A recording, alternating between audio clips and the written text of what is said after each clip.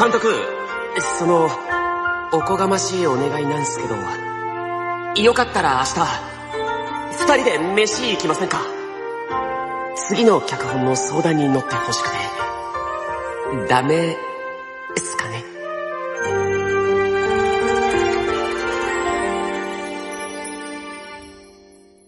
ただいまのジングルは、みなぎつづるで、監督ネーム、たまりんさんからいただいたシチュエーションでございます。普段はお兄ちゃん的存在だけど、たまに弟らしく甘えてくるつづるというリクエストに答えたセリフでございました。あのね、甘えてもここまでなんすよ。つづる。そうなの？そう、もう、うんなんか子犬みたいに、うんうんキャンキャンキャンキャン行くんじゃなくて、うんうんいいっすか？みたいな、こくらいの。う、ちょっとだけなんすよ。そこが可愛いですね。デジャさんどうですか？こういう風に誘うときって。え、僕ですか？はい。そんな悩みます？そんな頭抱えて。だって俺の誘い方リアルだよ。え？めっちゃリアルだよ。え、どういうことですか？リアルとは。飯行かない？め飯行かない。飯行かない？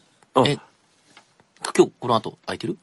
あ、はい、空いてます。あ、じゃあ飯、あど、お、お家どこら辺？なんか、なんか、そこら辺近辺でもいいよ。あ、本当ですか、うんあ、じゃあ新宿近辺あ、ですかね。おあ、新宿か。